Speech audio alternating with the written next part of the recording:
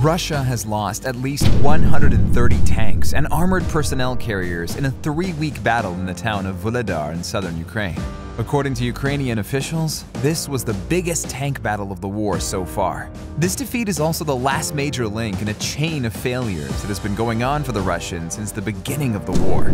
According to US officials, Russia has likely lost half of its main battle tanks, if not more, during the fighting in Ukraine. Most sources agree that since the beginning of the invasion, the Ukrainians destroyed or captured more than 1,600 T-72s. To put the situation in perspective, this figure is considerably higher than the entire tank force of Greece. Russia's tanks were once seen as fearsome, formidable threats. So, what is happening? At the beginning of the war, Russia staged equipment for nearly 100 battalion tactical groups along Ukraine's borders. BTGs are task-organized motorized rifle or tank battalion plus-sized combat entities that can perform semi-independent combined arms combat missions. These units generally consist of a large number of armored vehicles and a small number of infantry troops. The lack of sufficient infantry support or protection led to columns of Russian tanks moving straight into Ukrainian ambushes. The Russian Air Force's inability to maintain dominance in Ukraine exacerbates the situation. Without effective air support, Ukrainian small combat units can move to positions where they can attack Russian convoys, taking advantage of the terrain they are familiar with. And these agile combat units are equipped with West's most advanced anti-tank systems. Let's look at some of their weapons and how they choose to use them. According to a report published in 2022, the United States provided Ukraine with 8,500 FGM-148 Javelins. The FGM-148 Javelin is a state-of-the-art portable fire-and-forget anti-tank system that can lock onto and hit moving targets from a distance of 8,200 feet, or 2,500 meters. Unlike previously guided missiles, the operator can safely leave the area or take cover after launch without having to keep the crosshairs on the target. This anti-tank weapon is highly effective against heavy tanks due to its top attack mode. The weapon's launch unit is so advanced that it can be used independently for observation purposes. The outstanding performance of St. Javelin comes at a cost. That is $197,884 a missile, according to the US Army's missile procurement budget for 2023. However, the kill rate of up to 90% and the fact that it eliminates a multi-million dollar tank in just one shot justifies this cost. One of the major contributors to Russia's desperate situation is the Saab Bofors Dynamics designed NLAW. The 28-pound munition, designed to target main battle tanks, has a predicted line-of-sight targeting capability that allows an operator to track and engage a target in seconds. Being significantly more cost-effective than Javelin, this missile is only about $33,000 per shot. However, the range is much shorter at 3,280 feet, or 1,000 meters, and NLAW's 4-pound warhead is far less effective than the FGM-148 Javelin's 19-pound warhead. Still, the NLAW system is accounted for about 30 to 40% of Russian tank losses, according to Ukrainian forces. From the start of the invasion, Ukraine's locally manufactured Stugna P anti-tank missile was acclaimed for its effectiveness.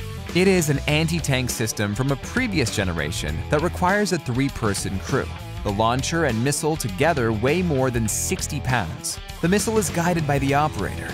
At its maximum range, the projectile takes nearly half a minute to hit a target at its maximum range of 3.1 miles, or 5 kilometers.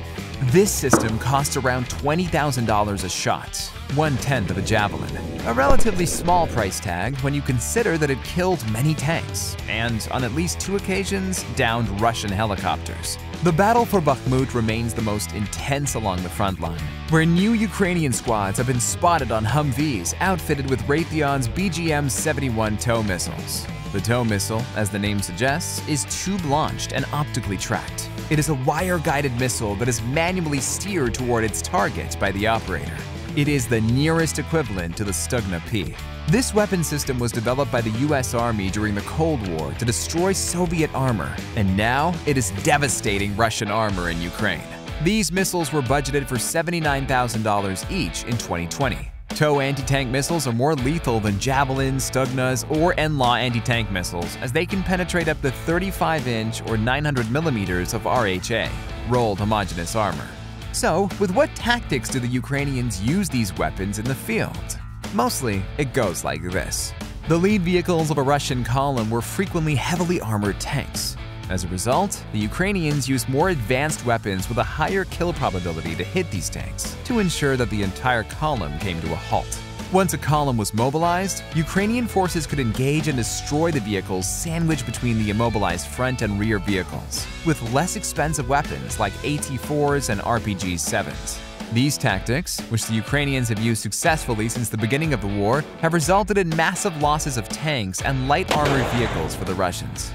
To cope with the losses in the field, the Russians are forced to send their older tanks to the front, which have been sitting in warehouses for many years without maintenance. The 70-year-old T-55s were said to be on their way to the front lines after the T-62s. In a direct clash with better-equipped Ukrainian forces, the four-man crew of a T-55 could survive for minutes. Losing tanks is one thing, losing trained tank crews is another thing together. The Russians lost a devastating percentage of their experienced soldiers, the most valuable asset an army could have, in the first months of the war, due to tactical and strategic errors that demonstrated that they were unprepared for this type of war. In the upcoming phase of the war, they will have to fight against highly experienced, motivated, and well-equipped Ukrainian forces with inexperienced soldiers and older technology weapons. We're talking about the M1A1 Abrams versus the T-55.